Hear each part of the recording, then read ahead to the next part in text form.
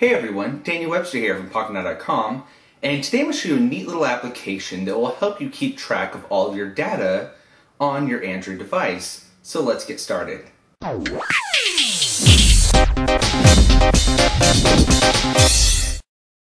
And the program is called Net Counter, and it is free on Android Market.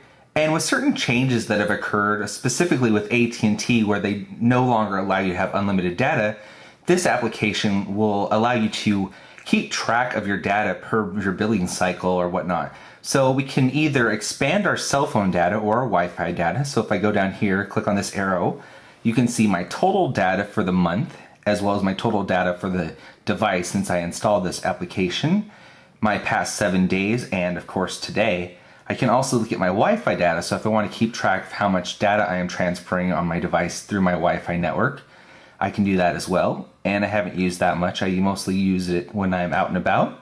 So as you see, I've only used 11.46 uh, in the past month on my Wi-Fi network. So I can just minimize those if I'd like. I can also go down into settings and I can change the preferences. I can check this box here to have it update on my Wi-Fi network every 30 seconds, but it does require more power, but it says it's more accurate. I can also import and export the data to my SD card or from my SD card, and I can show a debug log if I'd like.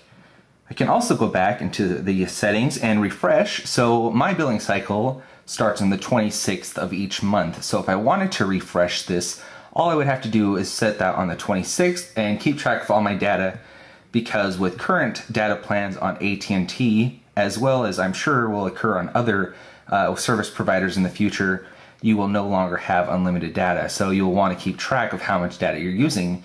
And if you don't use that much data per month, it's also a good idea to get a less expensive plan opposed to a 5 gigabyte or something like that plan per month.